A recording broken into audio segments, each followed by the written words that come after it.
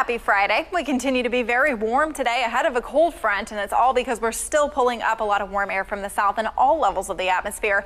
This cold front, though, will bring a bit of a cool down through the weekend, but it's really not going to be all that cool at all, and the spring-like weather does continue here through the long term.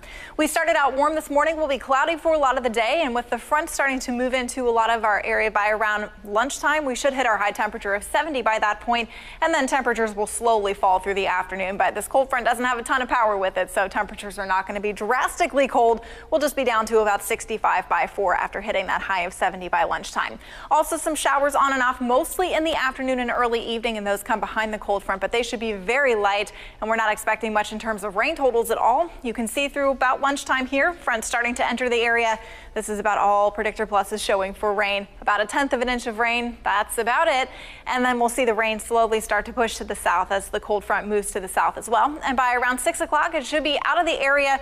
Starting to get a little hung up, though, just further to our south, and that front will stay there through the weekend. So that's going to continue to give us chances, at least for isolated showers, to happen throughout tonight and into tomorrow, especially in the southern half of the area.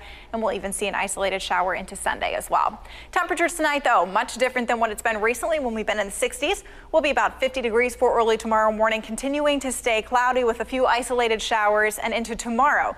Temperatures remain in the low 70s, still with that chance for showers as moisture in the upper levels of the atmosphere remains coming up from the southwest. We really need the jet stream to push all of that moisture down towards the coast in order to get the rain chance for the weekend to totally go away. And since that's not going to happen, we will be likely seeing a few showers for tomorrow. Mostly dry for Sunday. Can't totally rule out an isolated shower, but that should be the more dry day of the weekend.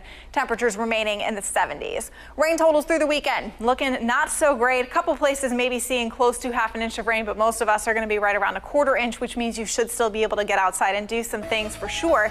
And if you like the warm weather, well, that is definitely in the forecast.